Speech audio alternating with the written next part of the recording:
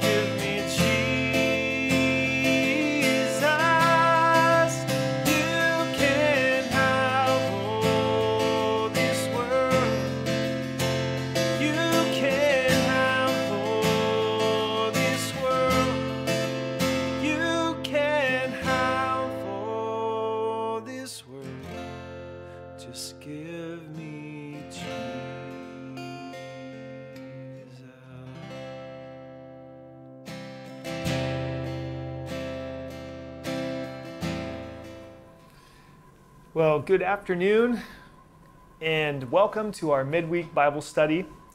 We are going to be in Psalm 110 as we just charge through, plow through this wonderful book. I told a friend of mine today that if I was marooned on an island and I could only pick one book of the Bible, uh, I would have to go with the book of Psalms, just because it, it, it takes you everywhere. Not only that, it's the largest, uh, most content in all of, in, of all the books of the Bible. So you're going to get more scripture that way. But it just takes you from Genesis to Revelation. It covers uh, just, it, it takes you all over like a tour through the scriptures. And so here we are in, in Psalm 110. And before we get started, I'm going to pray um, and uh, just bless this time together. Lord Jesus, we thank you so much for your word. We thank you for the privilege to do this, even online like this. And we thank you for those that are tuning in. We ask that you would bless them, that they would encounter your, your truth, your, your light, and that you would make their path straight. We ask that you would bless the Kenya team right now. Um, although us Mzungus aren't able to send our team on this end, we, we pray for those, the rest of the Kenyans and Ugandans that are going about the work anyway, uh, as they evangelize the village and um, see that this, that this new church be born in uh, just a few short weeks. So God bless them. It's in your name, Jesus, that we pray. Amen. Got a little buzz back here. It's interesting. Okay, so Psalm 110 has actually been uh, referenced or quoted 27 times in the New Testament. So it's, it's the most prolific um, quotation and reference in, in, for sure, the book of Psalms, possibly the, the Old Testament, if I'm not mistaken. And it's verses 1, uh, well, verse 1, that we see the most quotations coming from. It's uh, upwards of 25 times that that verse is used again elsewhere in Scripture. And then down in verse 4, that's the second most quoted in this, in this chapter, and that's quoted four times. So, um, a very popular, short little psalm. And there's, for good reason. It's jam packed full of theology, of, of insights about our Heavenly Father, about our Messiah. And so uh, let's just dive in together. It's a Psalm of David. We know that for two reasons. One, it says so, it's a Psalm of David. And also, Jesus uh, affirmed that this was the Psalm of David in Matthew, excuse me, 22, verses 41 through 46. And we're going to go there in just a second. But here we are with verse 1. The Lord said to my Lord, Sit at my right hand, till I make your enemies your footstool. Okay. The Lord said to my Lord. Here we have, if your Bible is edited like mine, you have capital L O R D on that first Lord. And if you notice, the second Lord is just a capital L with lowercase letters following it. That means we got two different words here. And in the Hebrew, we have, uh, if, if, you, if you care to remember this sort of thing, um, Jehovah or Yahweh for that first word, Lord.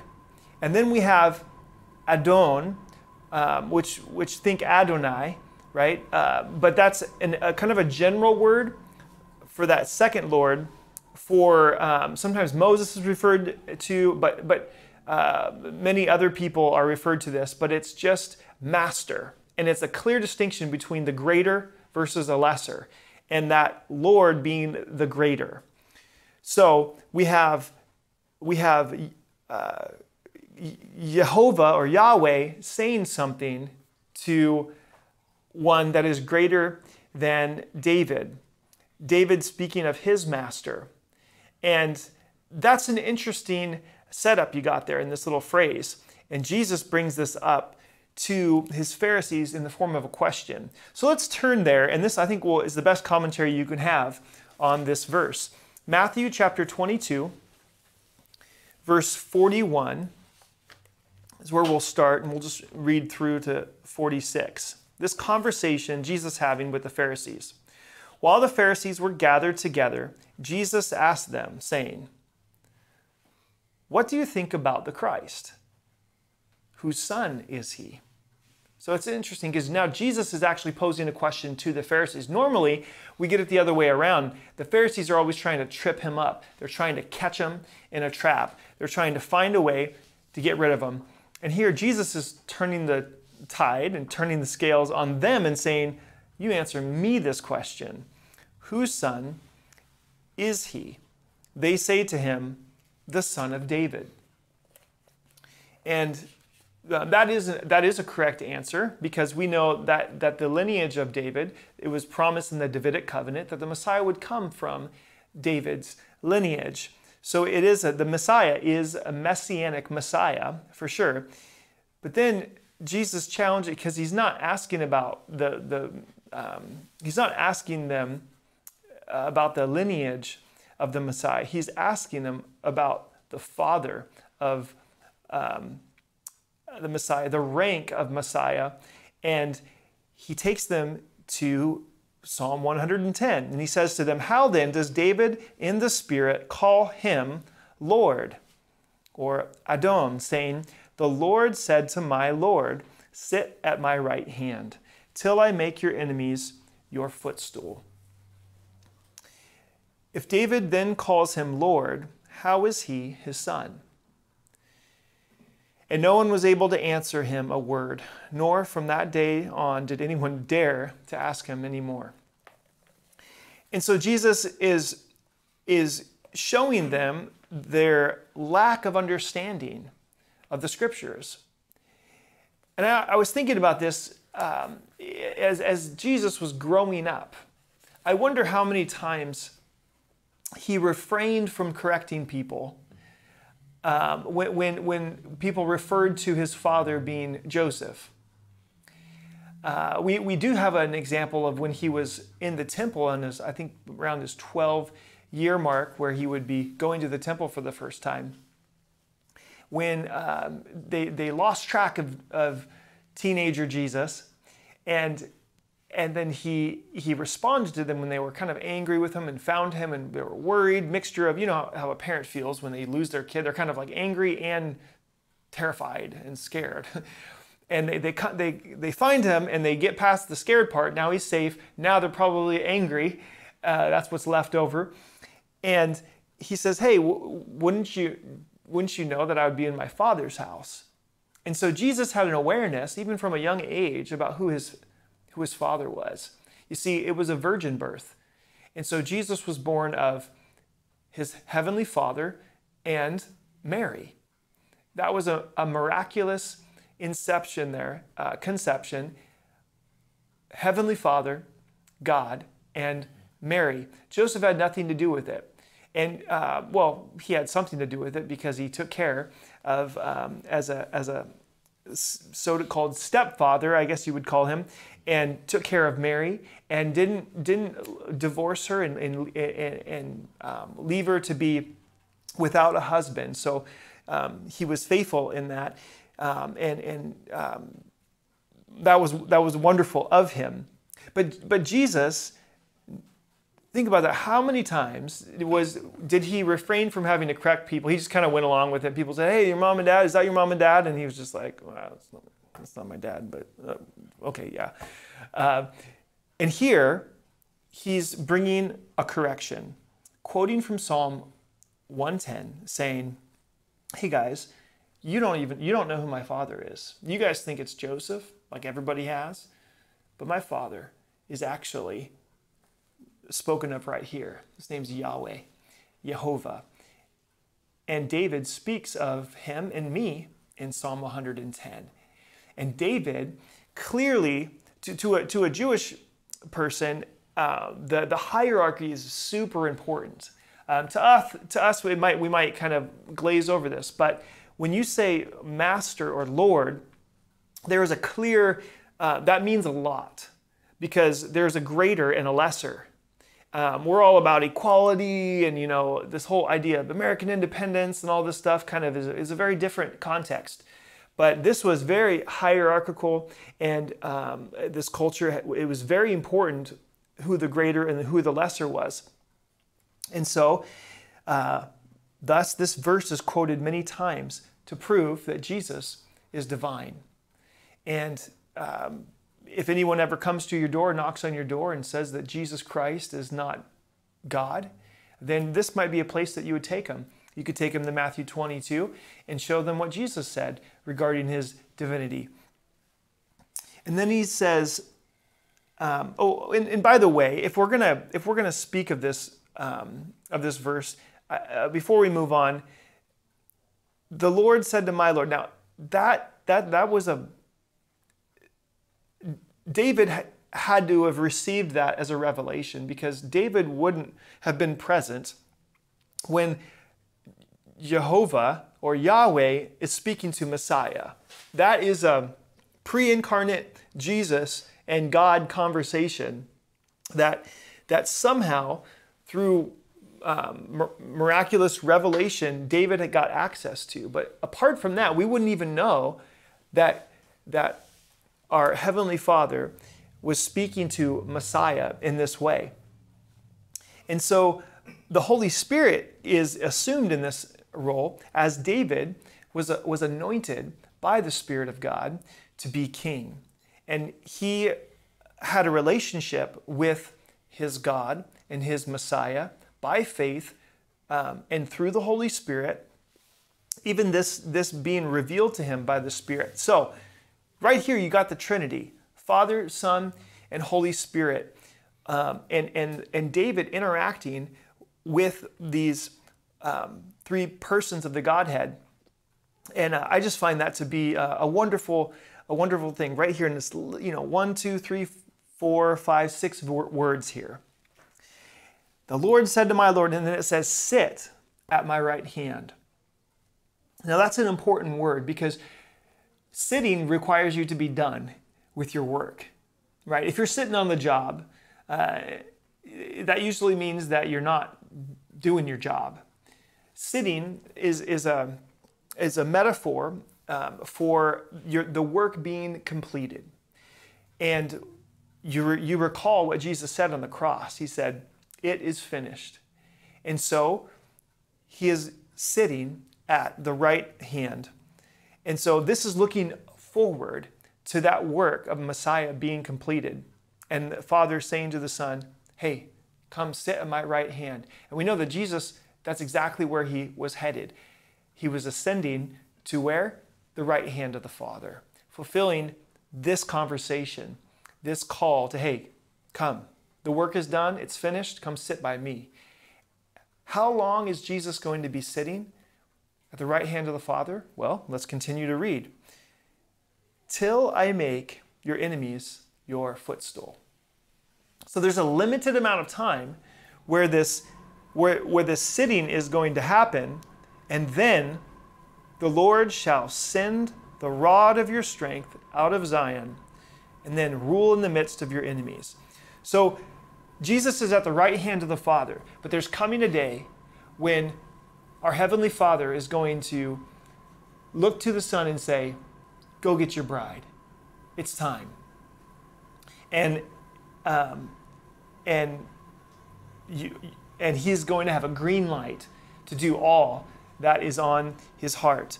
And we will continue to, to look at this passage about what exactly um, that is. But I just want you to know that, first of all, Christ is, is seated, the work is complete, and your faith in him is secure. It's done, it's finished, there's victory. And because of that, we can have peace. In the midst of storms, in the midst of trials, in the midst of difficulties, in the midst of, of a culture going haywire or sideways, hey, we have a Messiah who's seated. And then there's coming a time where he's going to get up and he's going to act. It hasn't happened yet, but that doesn't mean it won't.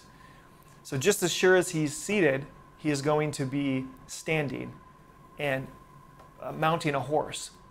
But we'll get there in a second. All right. The Lord said, I'm sorry, the Lord shall send the rod of your strength out of Zion. I want to just suggest the rod of your strength could, could possibly be capitalized as a name. The rod of your strength. That the Lord is going to send Jesus Christ, Messiah, the rod of Jehovah's strength, of Yahweh's strength out of or into Zion. Jerusalem is the hub. It's the hub on the earth, it's the hub of the heavens meeting the earth. This is the center of the world. This is where the action is going to happen, and it's Messiah in Zion or in Jerusalem that, that, the, that the strength of, of Jesus Christ is going to be manifested. And I would suggest to you that the strength of the Messiah is, um, is partly present with us right now to those who believe. And that's the power of the gospel for those that are being saved, those that are putting their faith in Jesus Christ. The gospel has been manifested. The gospel is able to save you. The good news Gospel just simply means good news. And what is that good news? That Jesus died for you and he rose again from the dead, and that whoever believes in him will be saved. That's the gospel. And that's the strength of God to save you, to save me from our sin and the wage of sin, which would be eternal death. And then it says, rule in the midst of your enemies. Now, when I saw this, this verse here, there was a, there's another place in Scripture that, it, that many of us know quite well that have the words, in the midst of your enemies. What comes to your mind? Well, for me, it's Psalm 23 in verse 5 that he's doing something else in the midst of his enemies. And that would be he sets a table in the midst of his enemies. Here, he's ruling in the midst of his enemies. That's, that's interesting to me um, in the midst of your enemies because what that means is that simultaneously it will be allowed that there will be enemies in the midst. and yet, he is ruling and he is able to make a table that we would dine with him. And I would suggest to you on that table, the centerpiece would be the, the, the bread and the wine, the body and the blood of Christ, the centerpiece of that meal. So, in the midst of our enemies, He is ruling, and He has set a table of fellowship for you and for me, even if we're surrounded, even if there's trouble, even if there's enemies, mocking, whatever they might be saying or doing, that's all right. He's ruling, and He's made a table for you and for me. In verse 3, your people shall be volunteers. I like that. Volunteers. Now, sometimes you get voluntold to do something, but that's different than this. This is volunteering. And this, think of a, the free will offering. It's the offering that you would just say, you know what? I am just so thankful and grateful for the Lord. I'm just going to give a free will offering to the Lord today out of just the abundance of what God has given me. This is the new covenant. The new covenant is not one of obligation, it's not obligatory, it is a free will covenant. It is one that we volunteer, that we say, But I want to submit to you, Lord, but I want to serve you. Make me a bondservant. Even though you've set me free, put the awl in my ear and drive it through the post. I'm yours. I want to be with you. Wherever you are, that's where I want to be. That's the new covenant. That's the church. The church are those who say, I want to I want to be a volunteer for Messiah. And just the fact that we have been given that privilege, that we have been given the opportunity to be grafted in as a wild olive shoot to a to a native olive root system and to be called um, uh, an olive tree when, when really we don't even belong on this thing. What a privilege us Gentiles have of being given the opportunity to even volunteer, right? Have you ever wanted to do something but nobody asked, nobody even just asked you to, to volunteer for it? You, you're saying, hey, hey, I want to pick me, pick me. And you just didn't get picked. God's willing and able to use you if you would volunteer to be a part of His plan, His purpose, and trust in Him. So, His people will be volunteers. Um, not only not only is the church volunteers, but the nation of Israel. There's another layer to this.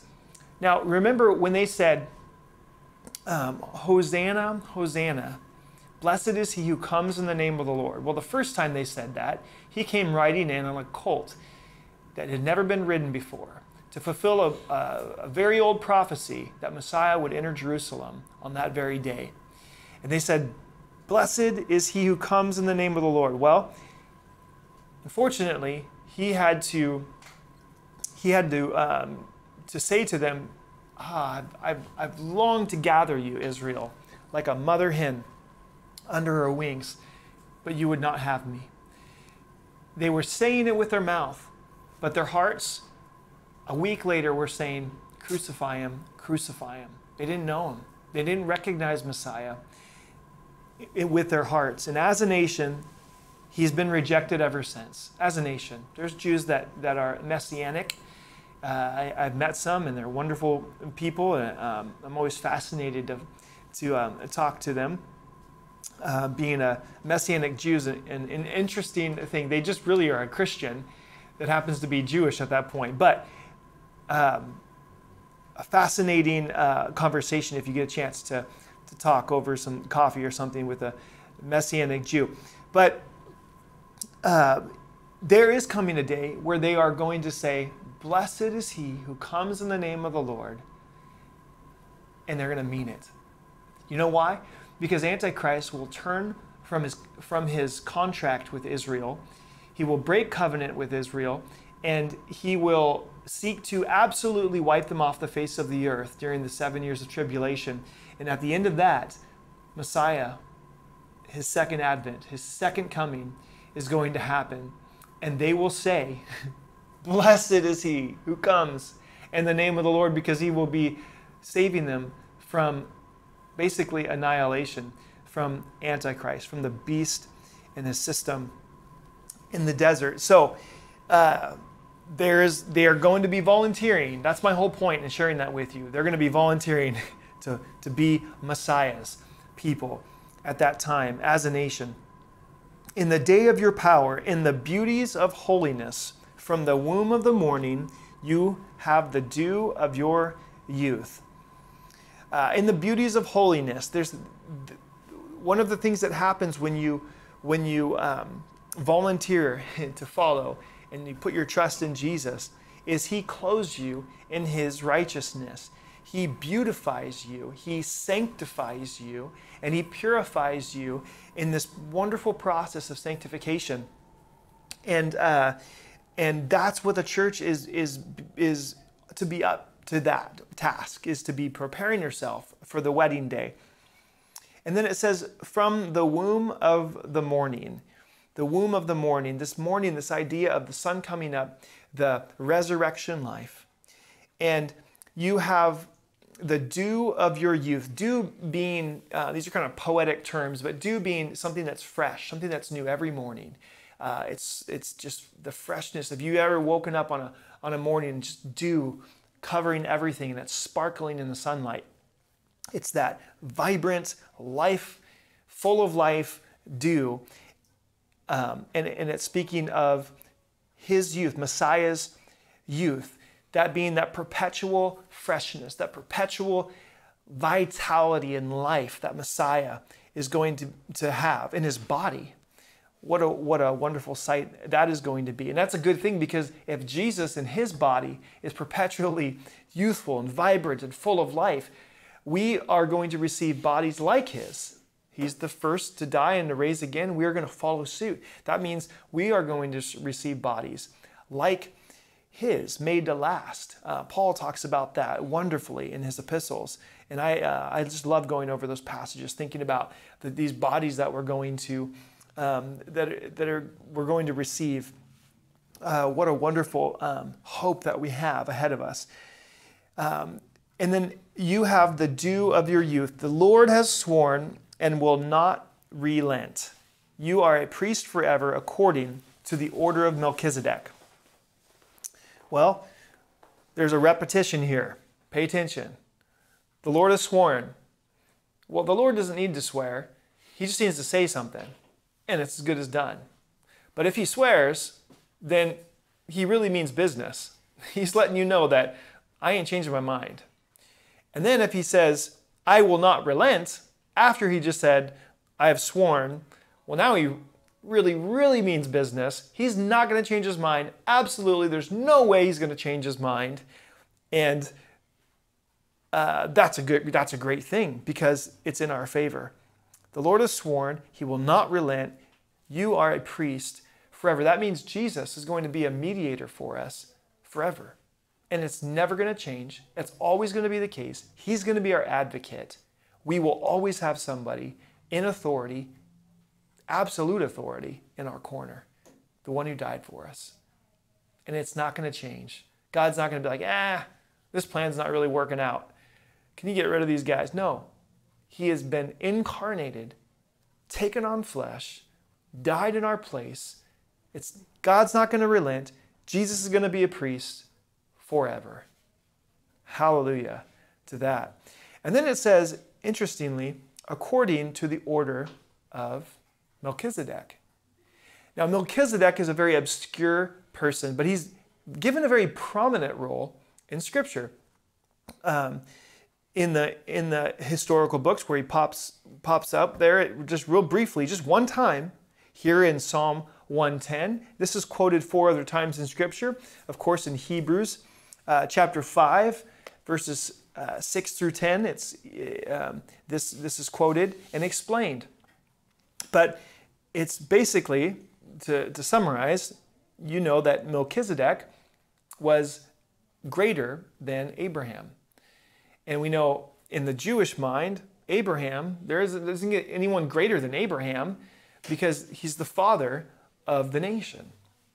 It's, that, was the, that was ground zero. That was the beginning of Israel, is Abraham. And God's promise, his unconditional promise to Abraham. And yet, and yet, this mysterious priest named Melchizedek receives or gives a blessing to Abraham and receives a tithe. Therefore, he is greater than Abraham. And that's the priesthood, this mysterious, eternal priesthood that order, not the one of, of Aaron, because Aaron, they had to keep doing sacrifices, keep doing sacrifices, year after year, after decade after decade, after century, and it still didn't accomplish any final solution. But Melchizedek shows up once, and it seems to be sufficient. That's the order of Jesus. He shows up once, he does the work, he finishes it, and it's sufficient. Another thing to praise the Lord about Messiah is sufficient. His work, what he did, is good, and it's going to be good forever. Verse 5 The Lord is at your right hand. He shall execute kings in the day of his wrath. Now we transition here. We transition to, well, let's just face it, it's not a very quotable part of the psalm. We got 25 quotes from the first two verses, four quotes then from that next stanza, and then this part, I'm not aware of any place this is quoted. Because that we're dealing with wrath and we're dealing with judgment. But let's read it. The Lord is at your right hand, he shall execute kings in the day of his wrath. He shall judge among the nations. He shall fill the places with dead bodies. He shall execute the heads of many countries. He shall drink of the brook by the wayside, meaning that he's, uh, from what I understand, that just he's going to be in a hurry, and he's not going to. He's just going to be just. Here's a brook. I'm going to grab some water and keep moving. Therefore, he shall lift up his head. He's going to be victorious. He's going to have quick execution of his justice. And um, you're not going to want to mess with Jesus when he comes in judgment, when he gets the green light from Yahweh to say, Go get him, do your thing, it's time. So he's king, he's judge, he's priest, he's Messiah.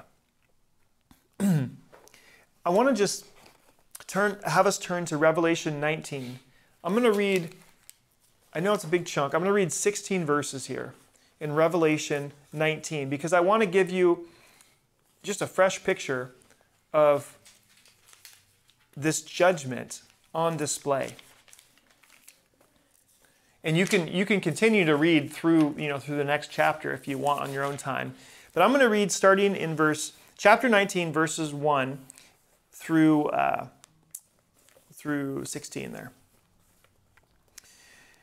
After these things, I heard a loud voice of a great multitude in heaven saying, Alleluia! Salvation and glory and honor and power belong to the Lord our God, for true and righteous are his judgments, because he has judged the great harlot who corrupted the earth with her fornication. And he has avenged her on her the blood of his servants shed by her. Again they said, Hallelujah!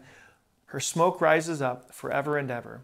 And the 24 elders and the four living creatures fell down and worshiped God who sat on the throne, saying, Amen. Hallelujah. Then a voice came from the throne, saying, Praise our God, all you his servants, and those who fear him, both small and great. And I heard, as it were, the voice of a great multitude, as the sound of many waters, and as the sound of mighty thundering, saying, Alleluia, for the Lord God omnipotent reigns. Let us be glad and rejoice and give him glory.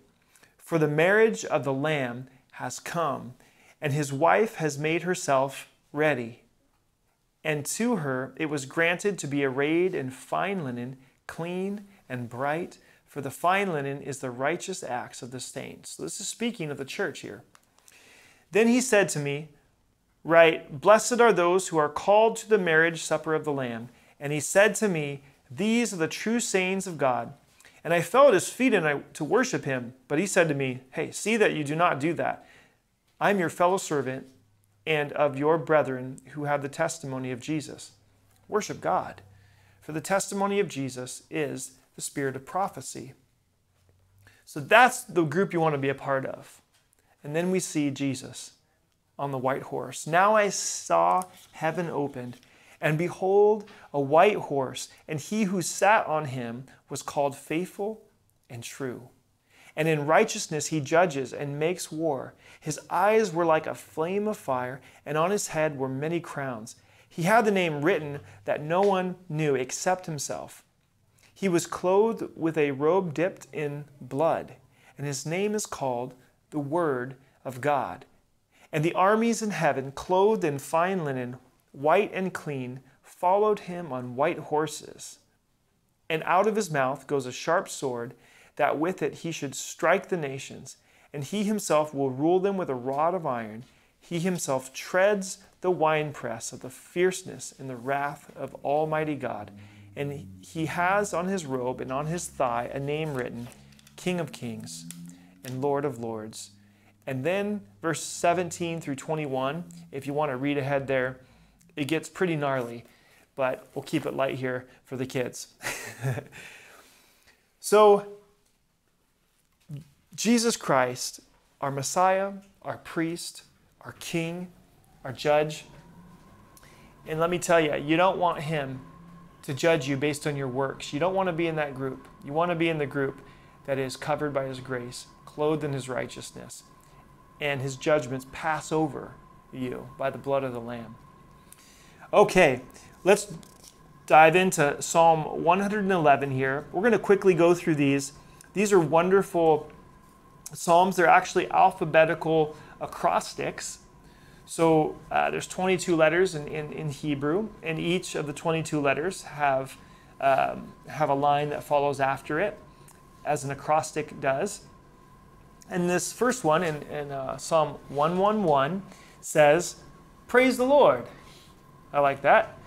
I will praise the Lord with my whole heart. With my whole heart. Now, that's something that we could preach to ourselves regularly because we need to remind ourselves He wants everything. And we want to give Him everything. The problem is actually doing that, giving Him our whole heart. So there's areas of our lives that we need to continually be resurrendering to Him, that we need to be declaring, God, this part of my life is yours. This part of my life is yours. I want, I want to give it to you. And when I forgive me for taking any of it back, help me to lay it down afresh, every area of my life, my whole heart, my whole heart. In the assembly of the upright and in the congregation. So we're supposed to be doing this together in a congregation. It's hard to do that when we're online. That's why we always encourage people hey, come out on Sundays. Uh, get together as often as you can for fellowship with the saints. Um, it's barbecue season. The sun's out. It's technically it's summer now, right? So have a family over and, and, and spend time in fellowship. Spend time in, in prayer as you around the table. Uh, this is what it's saying. I will praise the Lord. I will do it among the saints. The works of the Lord are great, studied by all who have pleasure in them. Oh, that's a great verse for a Bible student right there. Bible students, the, the works of the Lord are great and they're studied by all who have pleasure in them. Do you have pleasure in the works of God? Do you delight in what God has done, what He is doing, and what He will do? Study it, know it, know Him, and He will make your path straight. Verse 3 His work is honorable and glorious, and His righteousness endures for a little while. No, it says forever. He has made his wonderful works to be remembered. The Lord is gracious and full of compassion. He has given food to those who fear him. He will ever be mindful of his covenant. Now, that verse right there is really the focus of this psalm. He will ever be mindful of his covenant. He's not going to forget what he promised Abraham. Well, for that matter, what he promised Adam what he promised Noah, what he promised David, what he promised his church. These covenants that God makes, they're always on his mind. On the forefront of his mind is what he has said he's going to do. I like that. We'll see more of that at the end of this psalm. He has declared to his people the power of his works in giving them the heritage of the nations.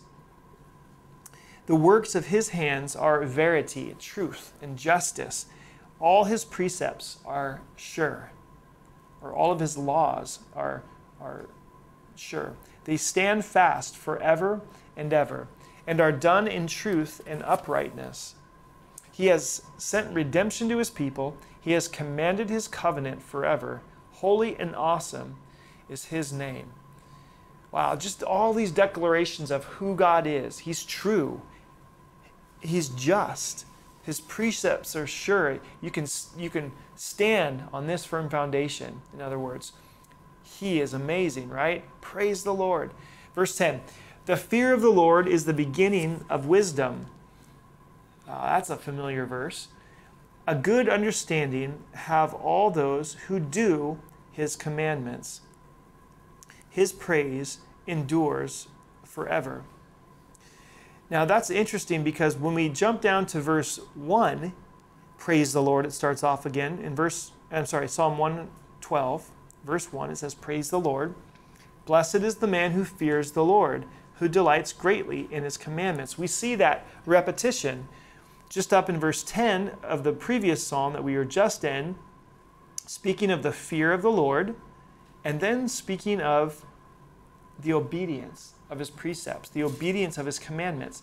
You know, there's a relationship between the fear of the Lord and his commandments.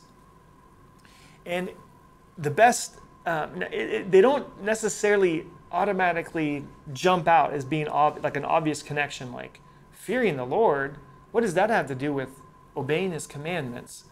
Like I'm supposed to be afraid that God's going to punish me, so I'm going to obey him out of obligation or out of fear of getting a spanking or something ah, I don't know if that. No. The relationship between fear and, and ob- obedience to his commandments is faith. It's trusting in him. It's knowing his character and it's trusting in him. When you know him, you fear him. Because look, he's the one that can put a man or a woman and, and eternally separate himself from them. Right? Anyone that can do that that's actually pretty terrifying. There's a holy fear of God because He's God.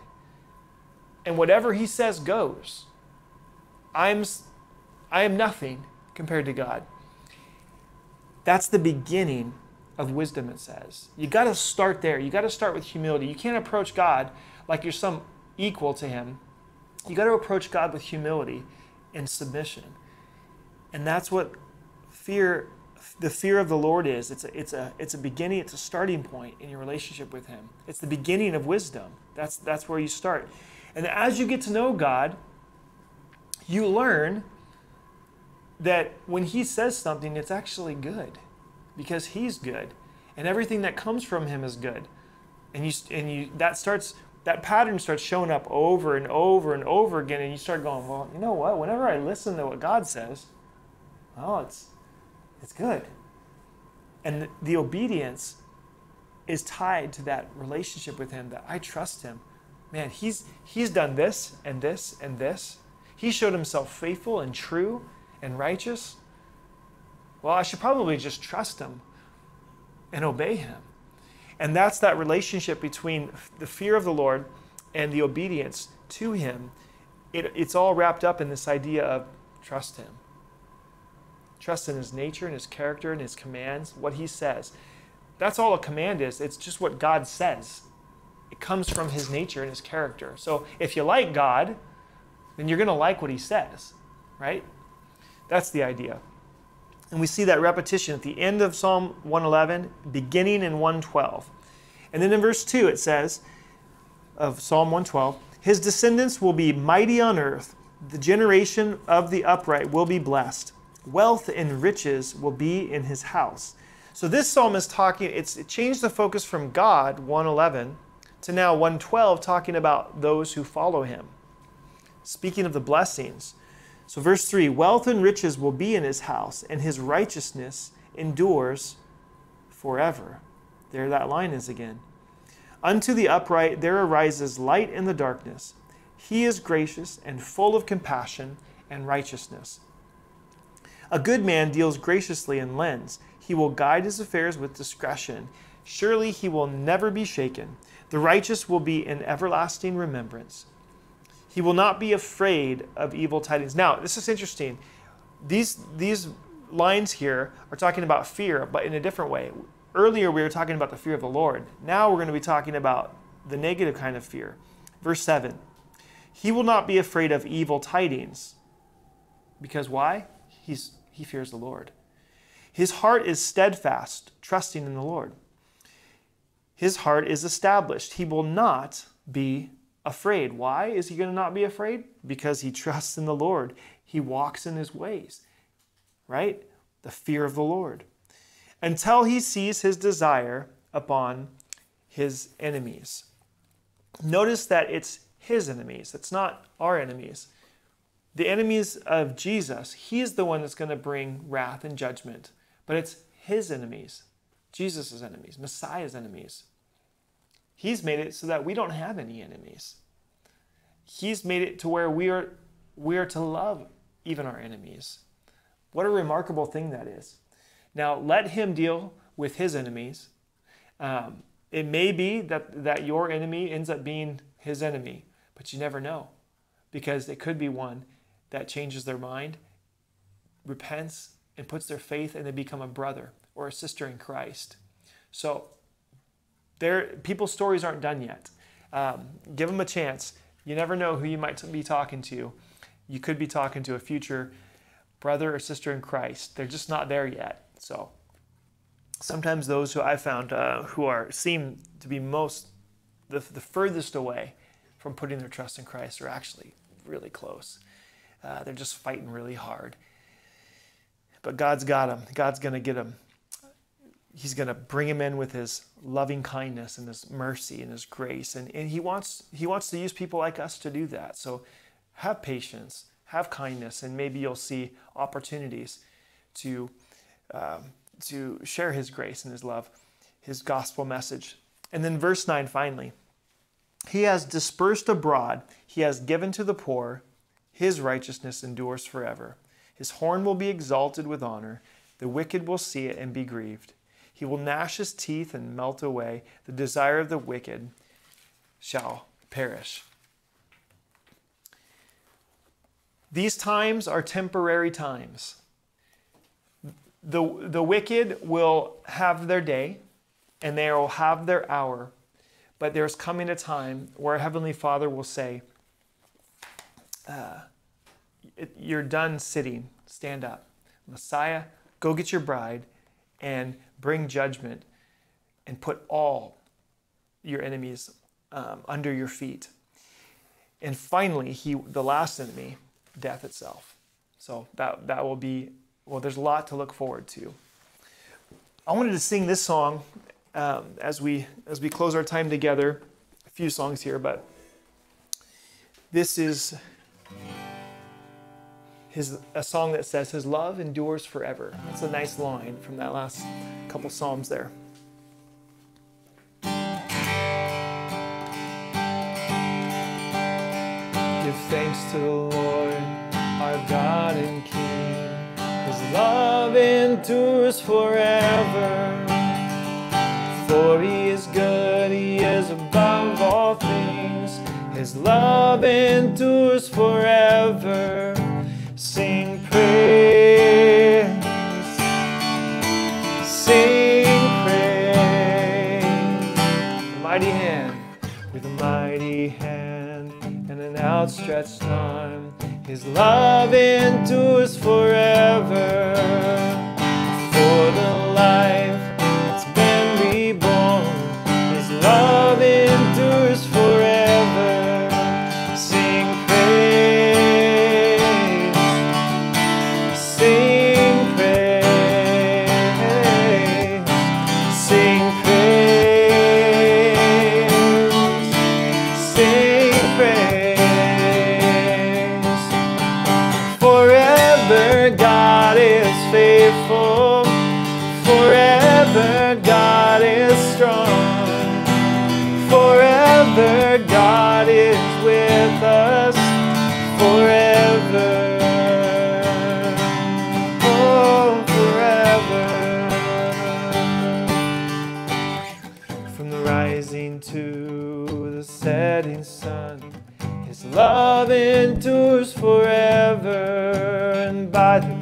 Of God